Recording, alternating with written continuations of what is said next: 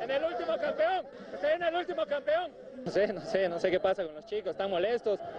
Ah, o sea, ellos pueden hablar, su técnico puede hablar mal para, para la institución, para nuestro equipo y, y deportivamente les ganamos bien. Ahora quiero, quiero ver qué excusa pone, que hemos jugado mal, que hemos jugado sucio, que los árbitros nos han ayudado, hemos jugado un buen partido. Creo que eso es lo que les molesta, por ahí obviamente hice algunas jugadas que por ahí le, le hayan molestado, pero es fútbol, eso, eso puede, se da de esta manera y nada, yo, yo estoy tranquilo porque el equipo sacó los, las tres unidades y bueno, hay que seguir enfocándonos en el objetivo. ¿no? Rodrigo, ¿todavía molestó las declaraciones de Gustavo Florentín?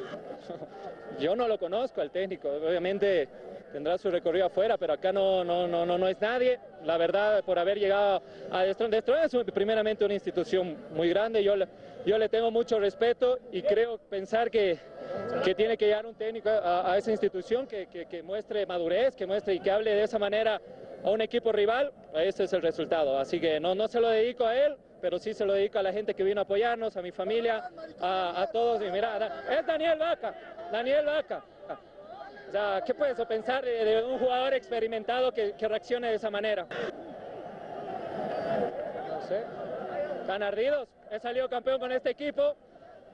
Quieran que vuelva, ¿no?